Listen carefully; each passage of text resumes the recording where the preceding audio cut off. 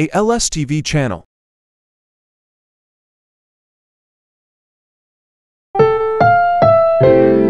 Ang susunod na programa ay rated PG.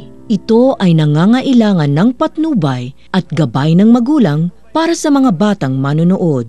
The views and opinions expressed by the host do not reflect that of the store and its management.